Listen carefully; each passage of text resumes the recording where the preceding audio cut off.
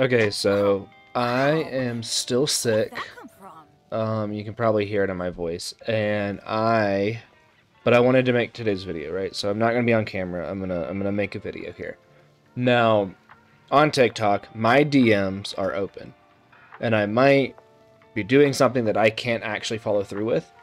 But if anybody ever has a question uh, that they want to ask, maybe I've missed it in the comments or whatever, you can send me a DM. I try to respond to all of them that are asking questions about Genshin. So, just it's open, right? I might again, I might I might get flooded with messages now. Who knows? Anyway, uh, somebody that I was talking to about Zhao, we were talking about Benny, and I just wanted to take a moment to explain a little bit more in depth something about how Benny's burst works. So, um, if we go to Benny, you know, Benny is a fantastic healer, a fantastic attack buffer, uh, and he does that through his burst. So, as you can see, my burst is crowned. I do have C6 Benny, so his level is 13 on his burst. Right here, it says if the health of a character within the AoE is higher than 70%, they will gain an attack bonus that is based on Bennett's base attack. Now, what is his base attack? Well, his base attack, if we go to his details, his stats, is this white number, this 865. It is not plus the green number. The green number comes from artifacts. It is not the green number. It is this, which is his base attack and the base attack of his weapon, which is why Mist Splitter is so good on him. It has a, it has I believe either the highest or one of the highest base attacks in the game for a sword. Other good options are going to be like Skyward Blade, less base attack at level 90, but energy recharge, which is great. Um, Alley Flash is his best four star because the base attack goes into the 600s, which is very, very good. Uh, and then, or something like Sapwood. I think Sapwood is also good because it's his best craftable one. Uh, at level 90, the base attacks are into like the mid 500s, and it gets up energy recharge, which is really, really good. So, any of those four options uh, Sapwood, Alley Flash, Skyward Blade, Aquila, um, or Mist Splitter. Yeah, even Chiori's weapon is like 542. So, yeah, Mist Splitter with a base attack at 674 is phenomenal. So it's this number plus Bennett's own base attack. So you want to get him to level 90 to get that up as high as possible.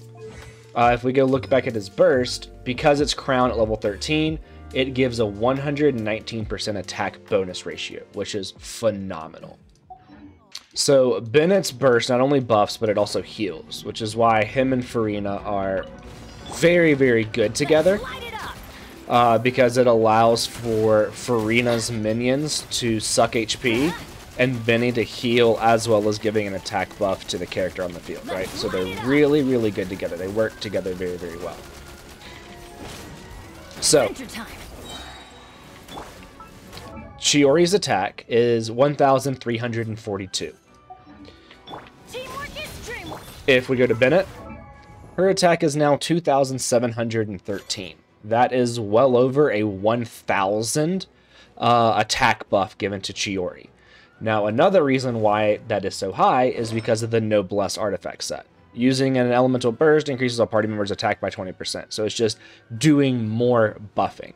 Now, because uh, Benny's buffing doesn't depend on artifacts, running like an energy recharge sands is really really good because it means that you'll be able to use his burst more. Um and then everything else pyro goblet crit rate or crit damage depending on what you need. Uh but you do want some energy recharge because you want him to have as much energy recharge as you can so that way you can have his burst more readily available off of cooldown now, if I wanted him to heal more than what he is doing, I could take his Pyro Goblet away and do like an HP Goblet. And you're going to be healing more because his healing is based off of HP. So you can build him as a buffer and healer fairly easily. Fairly, fairly easily.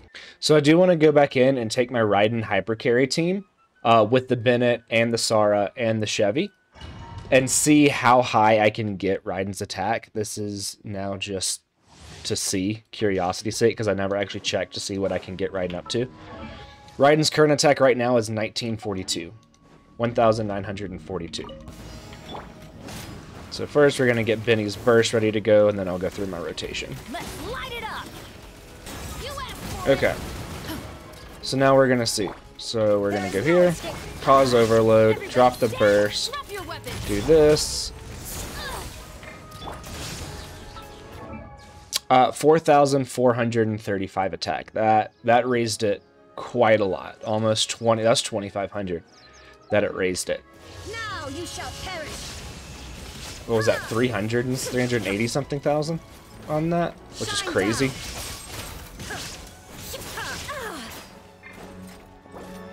So yeah, you can see how great of an attack buffer Benny is.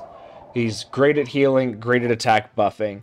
Um, but a lot of people, or a lot of people that I've talked to. May not realize it is this white number, which is what I wanted to talk about in this video. It is not his overall attack like it is on Jean, which is what her healing is based off of. It is specifically this white number being the base attack. where did that come from? So that's going to be it for this video. Hopefully you guys forgive me for not turning on the camera. I don't feel good. If you have any questions, do be sure to leave it down in the comments. Myself or somebody else, be sure to answer it, and I'll see you in the next one. Maybe you'll see me. Who knows?